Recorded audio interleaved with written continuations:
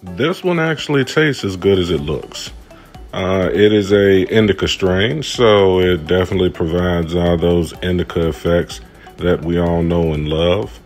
Uh, and they are some very dense nugs, and it does produce a good little funk as well, but it's uh, not too uh, strong in the smell, but very satisfying and uh, very worthy of a purchase. Be sure to go and check out the Kandy Boy, and uh, they got fast shipping and everything.